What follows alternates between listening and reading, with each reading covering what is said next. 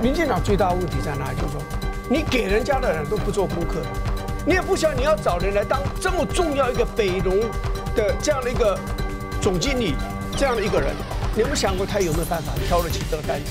他前面只当一个一个小镇的一个真公所的一个秘书，哎，那你现在要挑这么大的单子，这个北部最大的农产公司的总经理，他有没有这个能耐？哦，他说，因为我生长在对不对？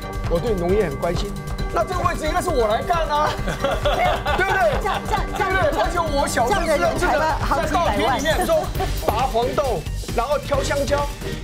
这个做我们的小时候都是我们的工作啊。你懂农业，所以不能该懂。我我绝对懂。他问我香蕉，我可以讲一大堆。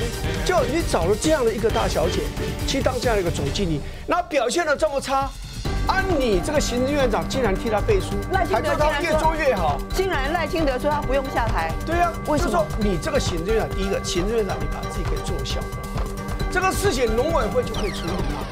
那你这个行政院长要管军国大事嘛，国家的大事嘛，人家就管一个，而且替这样的一个不称职人，你也非要背书。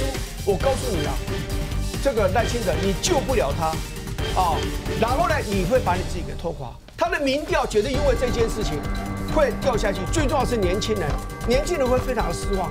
我们搞得要死，这个人进来一上来就一年薪拿两百五十万，可能还没有包括红利，这个薪水比上将的薪水还要高很多很多。晚上十点，跟我一起来打拳。